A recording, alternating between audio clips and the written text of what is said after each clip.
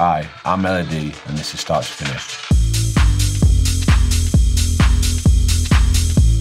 In this course, I'm going to show you how to get your ideas down quickly using techniques such as step sequencing, FX processing, MIDI to audio conversion, and we'll be looking into some arrangement techniques you can use to develop your loops into a full track.